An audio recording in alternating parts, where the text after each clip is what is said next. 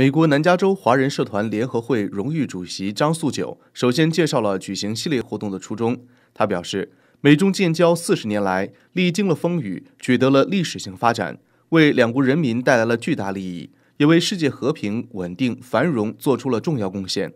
新中国的七十载风雨拼搏，七十载沧桑巨变，七十年的团结奋进，七十年的奋发图强，海外华侨华人迎来了伟大祖籍国七十岁生日。为深化民族团结进步教育，筑牢中华民族与人类命运共同体意识，加强各民族交往交流交融，共同团结奋斗，共同繁荣发展。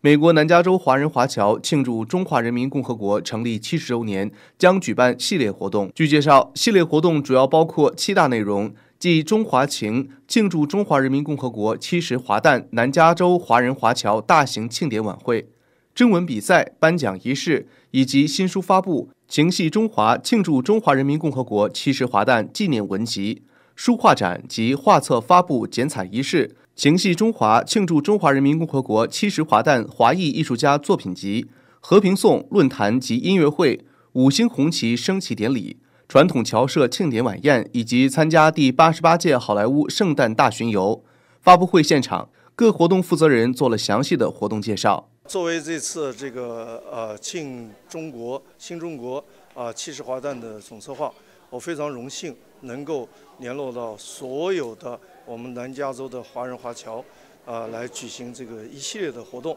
所以呢，在这个一系列的活动当中呢，我们呃每一个活动呢都是紧密的结合在一起的。那这些这今年的这个七十周年这个活动呢非常有特色啊，所有的活动呢都记在这个整个的一个啊庆典活动。呃，过程当中，所以呢，在每个活动的这个呃举办的过程中，有每个活动的特色，啊，希望大家到时候啊共襄盛举。今年是中华人民共和国七十华诞，我们洛杉矶的华人华侨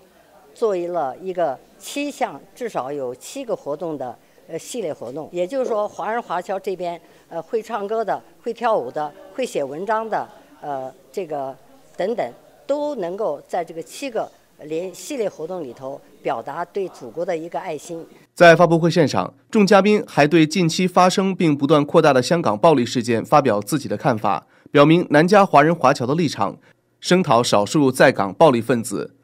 美国南加州华人社团联合会荣誉主席张素九代表南加州侨界宣读倡议书。美国城市卫视晚间新闻洛杉矶采访报道。